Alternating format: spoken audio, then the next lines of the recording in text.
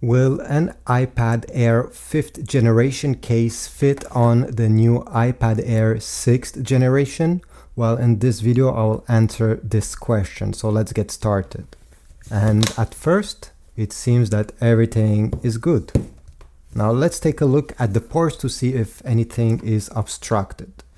Down below, if I look closely, I can really see that the grill over here matches perfectly just so you see this is an iPad Air 5th generation and we can see it has the same amount of holes as the new one. And the USB port is right in the middle so there's no issues there too for the cutout. If we switch on the side we have over here the small magnetic attachment in case you have an Apple Pencil. And over here the volume buttons are in the same exact position has the iPad Air 5th generation too. Whoops, I pressed the power button, but yeah, everything is very easy to press. Now, if we go on the top, this is where there's a slight difference. So the power button is perfectly aligned. It's at the same spot.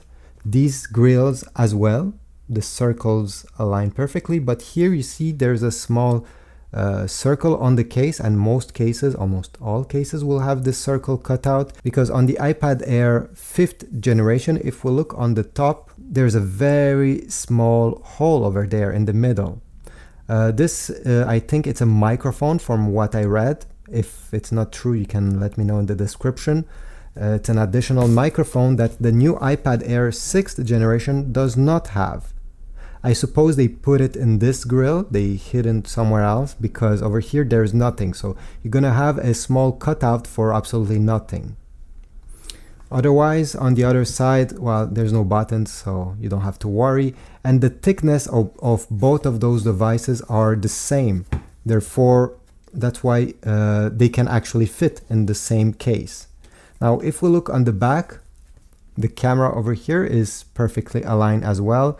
Apple didn't change the placement of the camera. It didn't change uh, the small flash there either. They actually changed the camera placement on the front. So the camera is not up there anymore. It's on the side on the new iPad Air 6th generation over here. This is the only thing you need to check really is that your iPad Air 5th generation case does not cover these sides since uh, on the fifth generation there's absolutely nothing but on this one there's the camera and if you have one of these cases that is folding I'll put a link in the description to one of these you won't have any issue with the camera because it's right in the middle there and I think it's very natural to make the iPad sit in this way. I'm glad they didn't put the camera over here because then it will look very bad.